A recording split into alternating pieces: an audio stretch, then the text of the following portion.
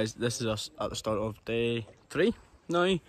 Um, we didn't record much last night because we pushed on to Kitera. Hopefully that's how you say it right. But yeah, we pushed on to there and it was about 9.30pm before we got off the water. It was dark and stuff, so we just kind of get camp set up and get into bed pretty much and then got up early this morning. We tried to get up around 5am to get the we some things to fix in the boat. Um, but it was raining, so I think it was about six thirty that we got up, and did a couple of makeshift repairs on the boat.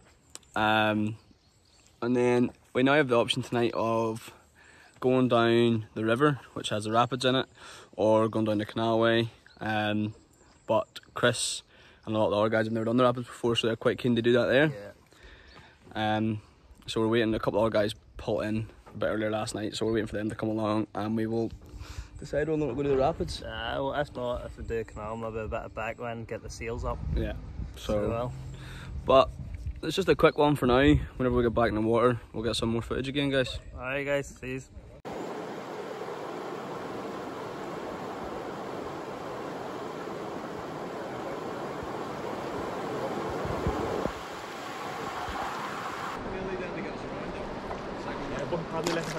What? Uh,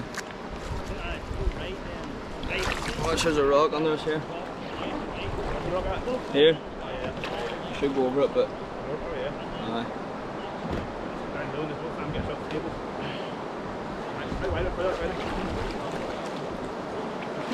Are we wanting? We're following this area down, yeah? Yeah.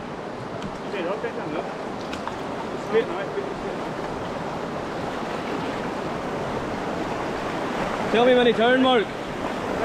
Go. There's them two switched there, Right, they're both left there. paddling left and. Yep.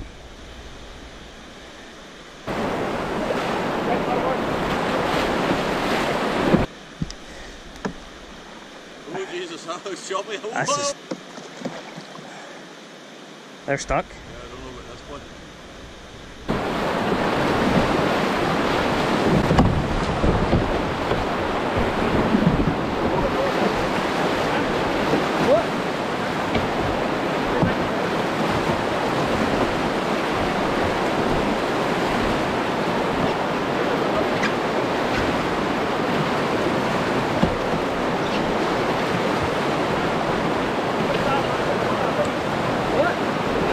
I can't.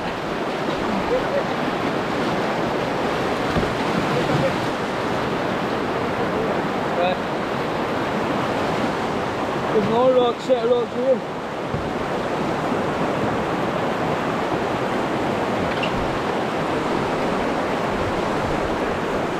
Right, Mark, there's a rock ahead here.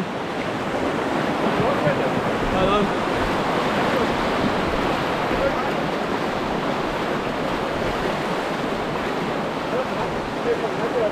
What?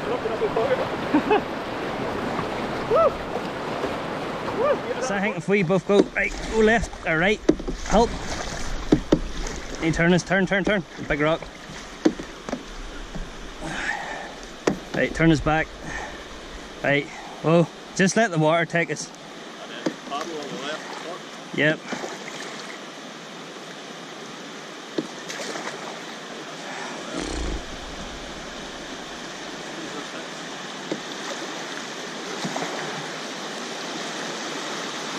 Right, paddle, My phone would ring now, like.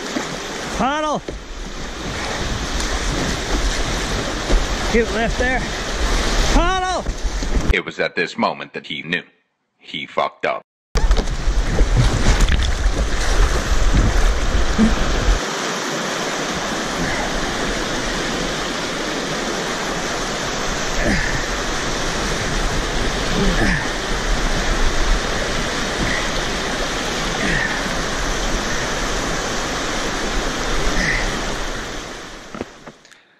At this stage, naturally, the footage got slightly frantic. Uh, Chris and PJ hit the same route we hit. It was uh, a bad line, inexperience, but we managed to stay in the boat, as you've seen, and they didn't, unfortunately. Immediately, immediately after the boat went over, uh, Sam and myself took our boat into the AA on the right hand side, and Sam got out with the throw line uh, to assist. But fortunately, the summer previous, we spent quite a lot of time falling in and out the boat and doing recovery uh, in preparation for this trip. So both Chris and PJ are not confident in the line. We're confident in recovering the boat and bringing it safely under control themselves, as you can see in this footage.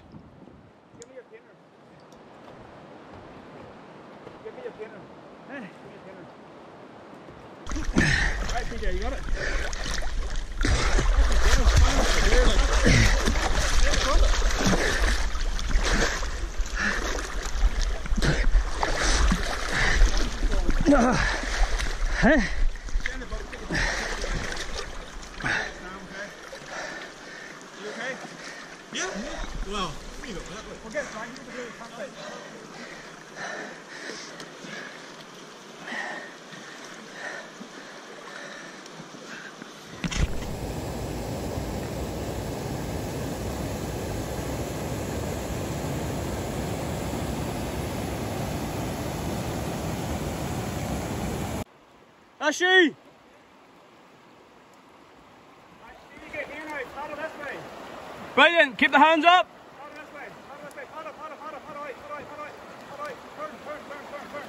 Sexy! Well done. Well done.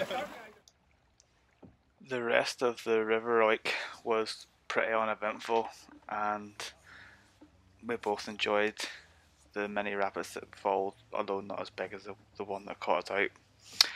This is where the Caledonian Canal came in and met the River Oich at the entrance to Loch Ness, and this is where we met the other guys who paddled the canal that day at Fort Augustus.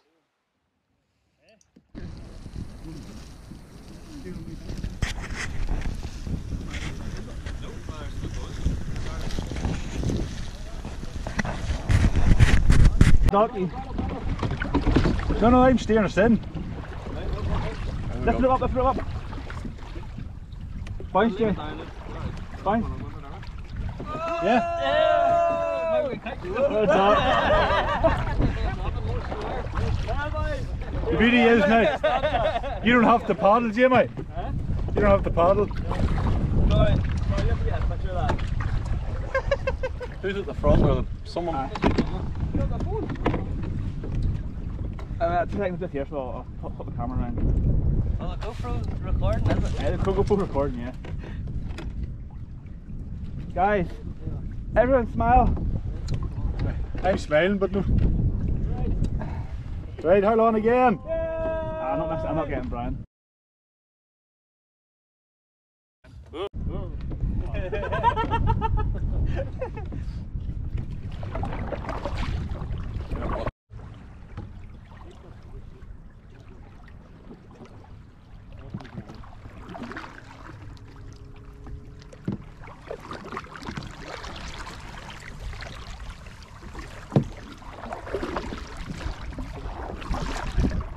Not quite fluffy enough, girls and boys.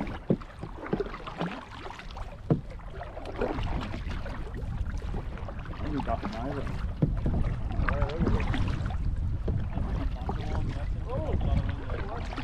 There we go. Oh wow. Oh, A- Any time today there, Chris. that's actually working like that. Aye, but I thought, nah, Chris will have it done in two seconds flat. Guys, we're, I'll just leave them. in. We're not going. That's. I'm Chris not up yet, isn't it? Chris got a kite. He thinks it's a kite. Hey, stop paddling, see what's... Pass me the cans. I'm gonna find out that's great. Look, sure, well, give me cover back. There we go, there's a gust. There you steer, Marlo. Hang off like a helicopter. Boys, 3.8 mile an hour. 3.8, come on, 3.9. Come on! Yo! Come on, come ah, on, 3.8, come on. Four! Yeah! Four mile an hour, boys.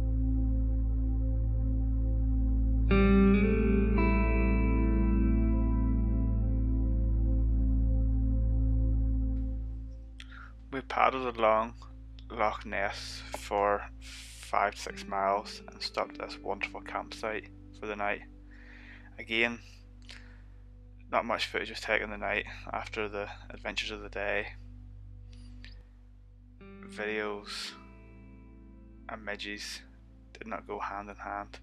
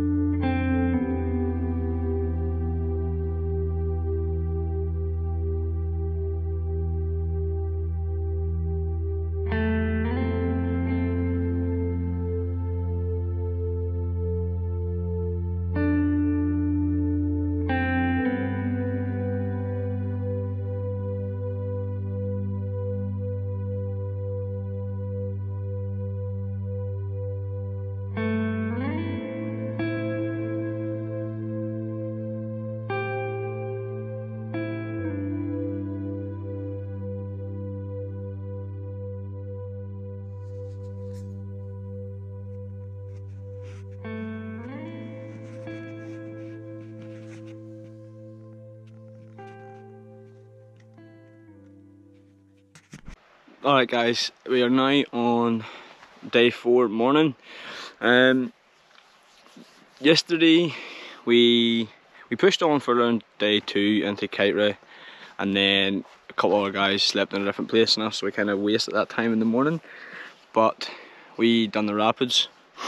Uh, so we went down the river, Mark, myself, Chris and PJ. Um, maybe by now in this stage of the video you've already seen the videos from that there but if we're keeping it for there and then I'll not spoil it. Uh, it was good fun. Uh, bit more technical than I thought but we get we get through it okay um, with a boat with minimum two holes that we that we know of that was leaking that we repaired with uh, some of our baler yesterday morning real quick. Um, held up okay obviously but the rapids is uh, tough enough on it.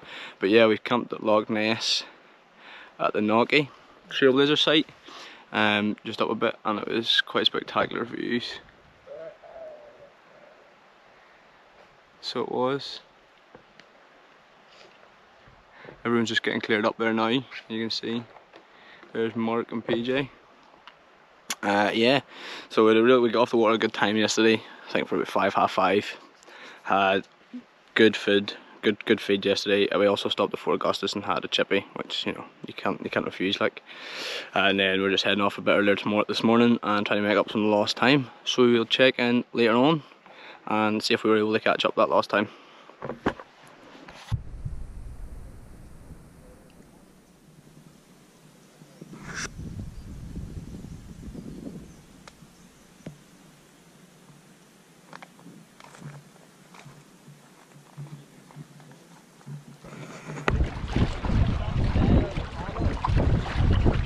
Ryan, fix your hair.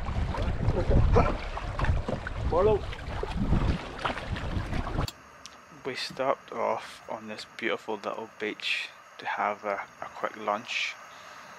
It was signposted of one of Scotland's last ancient woodlands and protected. So we just sat on the beach and made up some noodles, etc., and didn't intrude in the forest too much.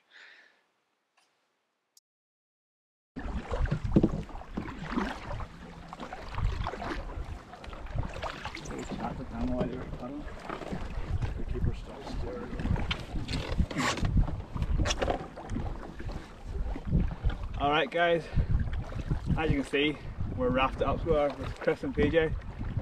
Uh, makes the, the vessel very very stable. As you can see I can turn around and talk to the camera without really any, mo- any bother.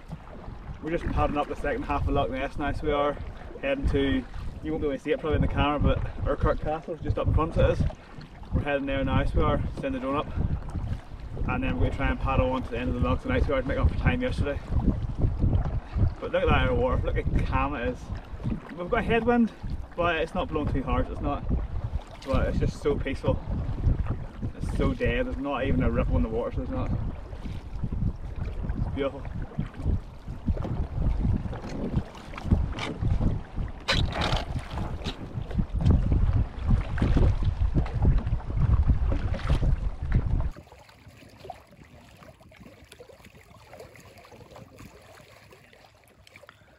Urquhart Castle is a Heritage Scotland site and you have to pay to come off the boats and walk around so, and also there's no drones allowed so we just moved on. After Urquhart Castle, uh, Loch Ness, the headwind got quite strong and actually quite choppy so it did. Uh, the only footage I actually got of that part of the trip actually was corrupted unfortunately. Uh, but to say the least it was a slog the whole way to the end of Loch Ness and it was a great relief to see the start of the Caledonian Canal.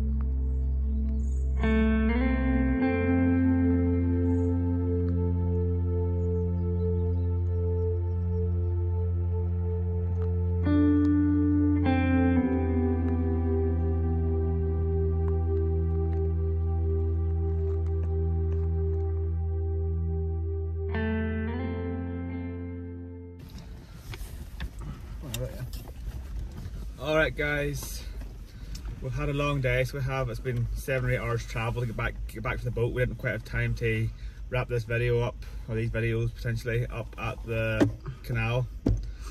Um, yeah, so just as always, thank you very much for watching the videos, uh, video or videos, um, and hopefully you enjoyed it. I think we got some good footage this time, and uh, there was definitely some definitely some good crack in there uh, along the way. Thanks guys. Cheers, guys.